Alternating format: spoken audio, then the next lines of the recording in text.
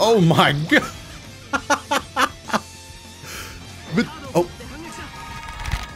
How's it going everybody? DotoDoya here, and today we're going to be taking a look at the new Dragon Ball game, Super Dragon Ball Heroes World Mission. Now I'm sure a lot of you know, but the reason I'm calling it the new Dragon Ball game is because Dragon Ball Heroes has actually existed in Japan for a long time already. Over there, it's a pretty popular arcade machine that involves the use of real physical cards. It was never brought over to the West though for a multitude of reasons, mostly because the arcade scene over here isn't as popular, and they felt that the game would be far too confusing for that audience. You only need to go to the comment section of any Dragon Ball Heroes promotional anime episode to understand that they were probably correct in thinking that there would be some initial confusion among some of the Western fans. How can Super Saiyan 4 can make evenly to Super Saiyan God Super Saiyan? I'm just here because my friend made me. When are these episodes going to Crunchyroll? Oh my lord, it's Super Saiyan 4. That's part of the reason why World Mission is so cool though. It's finally a game that's coming over to the West with a new story mode, and it's on both the Switch and Steam. I mean, just the fact that we can finally get our hands on a game that we can understand ourselves and really start playing and enjoying as Dragon Ball fans might be enough to drop the $60 to buy it. Just look at some of these positive reviews on Steam. The game is slow and ugly, but I am so happy we have a Dragon Ball Heroes game in the West.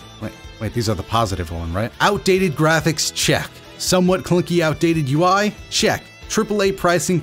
Are you, are you sure these are the positives? So as it turns out, a lot of the reviews out right now are from people that knew what Heroes was, were excited for it for a long time, and are just now getting their hands on it. Not to say there's anything wrong with that, it just isn't really too helpful to somebody that has never heard of it before and is looking for information to decide whether or not it's the game for them. So that's what I'm making this video for. I'm gonna play through a little bit of Dragon Ball Heroes, tell you what it is and what it isn't, and then give you my thoughts on whether or not I think it's worth dropping the 60 bucks for right now. So let's go ahead and start by talking about the obvious things. This game is not really a looker. The models can look extremely weird sometimes, and the way the story mode goes about transitioning them from one face to another can lead to some pretty hilarious moments. what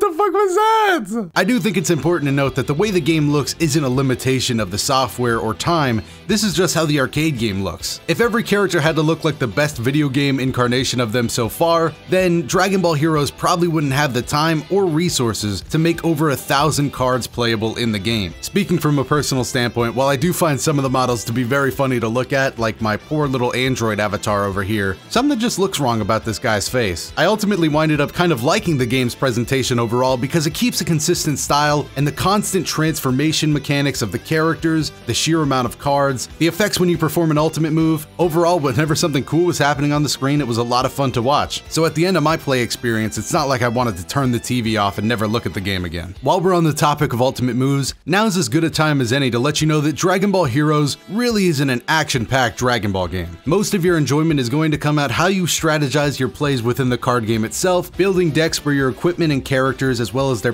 passives work well enough together to form a really strong team, and wiggling your joystick really fast to make sure your effect does maximum damage. Other than that, the only real impact you're going to have inside of the card matches themselves is timing button presses to decide whether or not your attack will be successful or whether your guard will be successful. If you win on attack, you get the full damage of your move, and if you win on defense, you guard a little bit of their move. Don't get me wrong, it's a simple system, but when you're already in an intense card match, sometimes the added intensity of having to make sure you win this button press in order to make sure you live another turn can be kind of fun. And it's a good thing that I personally enjoyed it because without enjoying the card game aspect of it, going through the extensive story campaign just would not be feasible. I won't go into detail of the story mode to avoid spoilers, but it didn't really keep my attention on its own. I more so was just in it for the harder matches and unlocks so I could get more card packs. Which brings us nicely into my favorite mechanic in the game, hardcore gambling. After you get enough tickets from completing any missions and events, you can head on down to the gacha shop and spend some tickets to unlock card packs. I should also mention that there are no microtransactions in this game. If you want to unlock everything,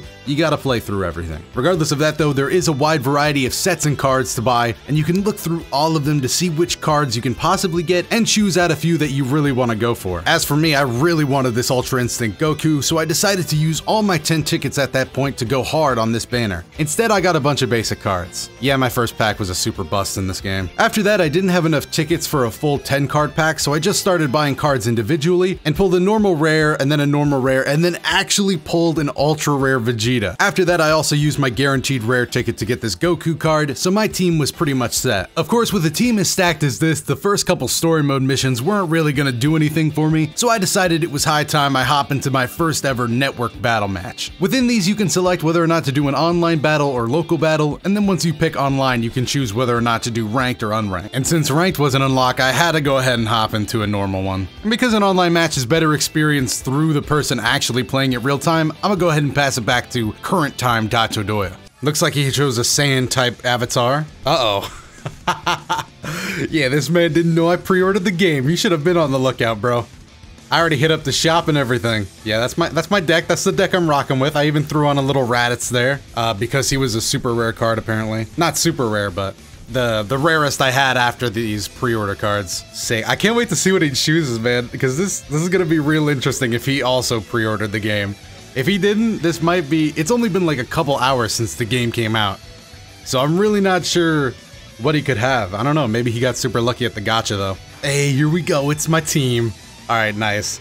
Couple of go. Oh my god, bro, is that Super Saiyan 4 Gogeta? And Super Saiyan 3 Teen Gohan? What what is going on? uh oh, wait a minute. Maybe I underestimated the man. That's fine. What's his passive? Okay, team HP up, and more things that I could have read in that time. I think let's lead the pack with with these two. We'll send him back just for now. No stun. Yeah, why not get him up there as well? Maybe him... Eh, we'll take him back. We'll take him back. He can go back, and he can go back. Oh my god, he just went all the way back. Does he know something I don't? Uh, does he know this is gonna be like double damage? Oh, that wasn't a perfect. Yikes. I should really be getting perfects on this guy. Nice, there we go. That's what I'm talking about, dude. This still isn't doing too much. This is all double damage.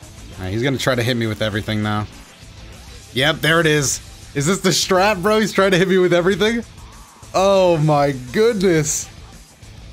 He took the first turn off.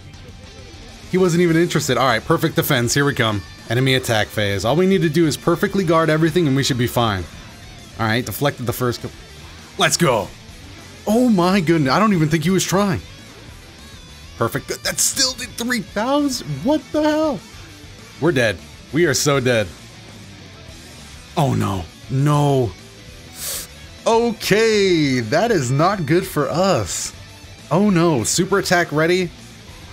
Ultimate Masenko? I mean, the one punch already did enough. Oh my god. Pull back on the damage. Counter rush mode? Is this something Ultra Instinct gets?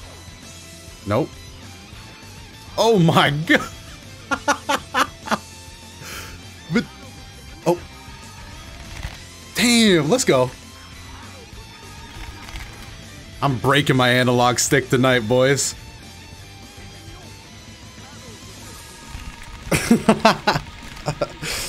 you should have never tried to rush me with all your most powerful guys. Perfect rush. Piece of cake. Get him, Vegeta. Whew. Damn, we almost killed him. Prince's counter rush, three times damage. Damn. He lost, right? That's it. I don't need, unless he kills me right away after this, but I don't know if that ends his attack turn or what. Did he just rage quit? Double mode, never mind. Hero types unite. Oh no, I lost. Oh my god. Jesus. Okay, you're rushing me. I see uh, I might have misspoke. Oh my, double dragon fist. These, these animations are hilarious, dude. I'm blitzing this guy after this. His team is going to be so burnt out. Triple attack. Elite types. Jesus. You ever think maybe enough is enough when it comes to beatings? Give me a chance to defend. 50%. Alright, no problem. Oh, 100. Okay, never mind. I clearly misunderstood the rules. Oh. Off the top rope. As long as we don't lose here, I'm pretty confident we can win. Oh, we're, we're dead. We are so dead. Deal critical stamina damage. Wow, that sucks. That's my that's my super rare card too. Oh! That was too close. Now it's my turn though. On the attack. Give me God come him. Yes! We win. We win. We win. All I have to do is draw G, boys. You have no idea how much preschool taught me. I'm about to I'm about to show this man that I know how to draw my G's. One, two, three, four, five. Dude, say your last words. You're about to get wiped off. Ultra Instinct activated. Mastered it. 1500 power. Say goodbye. This is gonna kill him right here. This is enough. There it is, boys. We take our first win online. And it's just as easy as that, really. It's just as easy as that. All you gotta do is counter with Vegeta, and you'll take the win.